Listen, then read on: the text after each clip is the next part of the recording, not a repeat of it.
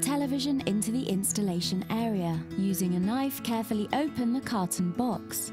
Inside the box, you will find the manual, template, and fitting components. Take a moment to read through the manual to make sure you fully understand the installation process.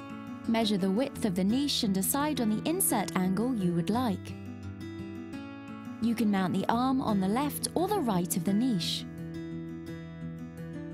For the next step, you will need the mount support. Take the mount support and place against the inside of the niche. Using a point, mark the screw points.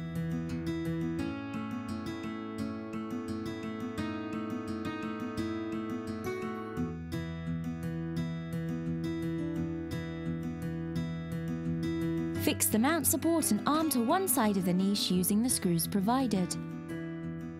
For the next step, you will need the magnet. Fix the magnet to the inside of the niche.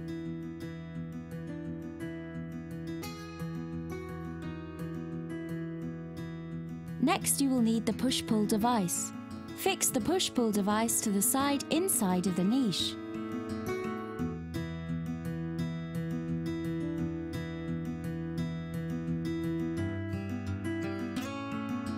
For the next step, you will need the black axis support along with a white and blue rotation brake.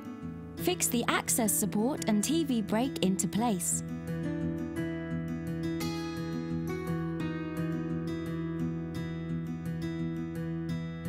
Next, you will need the large black screw, the axis part and the Allen keys provided. Fix the television onto the support arm by screwing the black screw into place.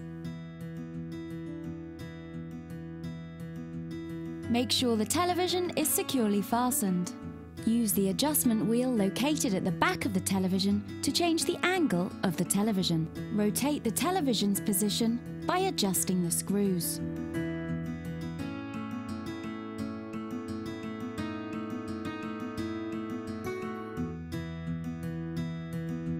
For the next step, you will need the two metal support arm covers, cable protectors and dowel pins.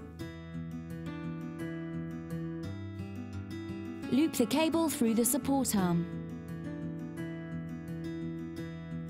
Place the top metal cover into place on the support arm and fix into place using the dowel pins.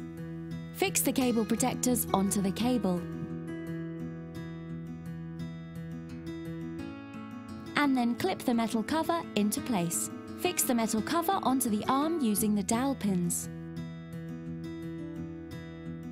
Next you will need the cable guide. Insert the cable through the cable guide and attach to the niche.